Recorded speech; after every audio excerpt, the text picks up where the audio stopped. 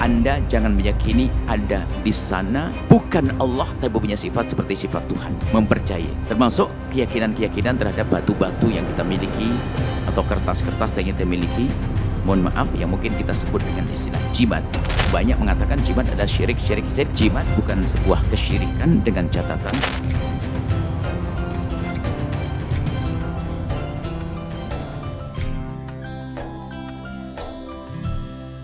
Anda jangan meyakini ada di sana uh, bukan Allah tapi punya sifat seperti sifat Tuhan. Mempercayai. Termasuk keyakinan-keyakinan terhadap batu-batu yang kita miliki atau kertas-kertas yang kita miliki. Mohon maaf yang mungkin kita sebut dengan istilah jimat. jimat itu sebetulnya adalah kita akan mengambil berkah dari ayat-ayat Al-Quran. Tapi kalau sudah meyakini bahwa dalam dirinya ada kekuatan menjadi syirik. Tapi kalau orang mengambil keberkahan dari ayat-ayat Al-Quran misalnya, hmm, biarpun itu berlaku kepada anak-anak kecil saja. Mungkin ada yang bertanya tentang istilah jimat. Jimat itu ada diriwatkan dari Sayyidina Abdul Umar, Sayyidina Abdullah bin Umar kisah tentang jimat. Jimat, makanya orang kok, banyak mengatakan jimat adalah syirik. Syirik, syirik adalah jenis orang yang meyakini bahwa dalam jimat itu punya kekuatan sendiri. Itu syirik. Akan tapi yang sifatnya tabarruk dengan ayat-ayat Al-Quran.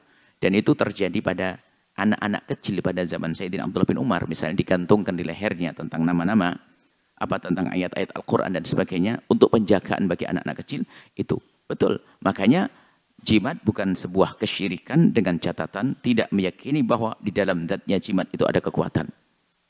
Tapi tetap dari Allah subhanahu wa ta'ala. Yang harus dimengerti bahwasanya itu kisah jimat itu berlaku untuk anak-anak kecil. Karena anak kecil belum bisa membaca maka digantungkan atau ditempelkan di tempatnya anak kecil. Tapi kalau sudah gede, bukan bawa jimat, bukan digantungin, dibaca zikirnya. Orang tua masih bawa jimat. Lah ini aneh lagi.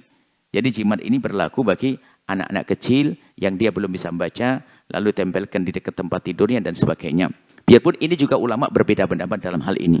Tapi kalau yang gede nggak perlu begitu. Yang gede baca zikir pagi, zikir sore, siang begitu. Anak gede pakai bacaan-bacaan apa. Ah, orang gede membaca, bukan menyimpan. Nah, ini ini ini perlu difahamkan juga. Lah kok banyak di negeri kita? Mungkin dulu banyak orang awam belum bisa baca Al-Qur'an, belum punya hafalan zikir. Kalau sudah hafalnya dibaca. Jadi kalau Allah binas untuk tahassun, untuk tahsin, untuk untuk menjaga diri kita di saat tidak tidur kita baca kul falak kul binas ayat kursi itu dibaca kalau kita hendak tidur bukan ditulis lalu ditempelin di atas kepala kita bukan itu untuk anak-anak kecil kalau Anda seperti anak kecil, lain cerita. Ya, kita perlu merubah hal-hal semacam ini. Memang di sana ada tuduhan yang salah juga. Setiap jimat adalah syirik. Syirik ini perlu ditunda dulu. Karena syirik itu nggak gampang. Kecuali tadi sebagian orang yang meyakini bahwasanya dari zatnya ini punya kekuatan, itu adalah termasuk jenis syirik.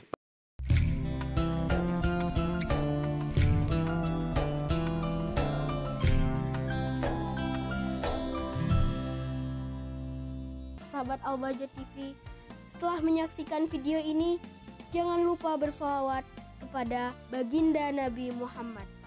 Sallu ala Nabi Muhammad. Allahumma sholli alaihi wa ala alihi wa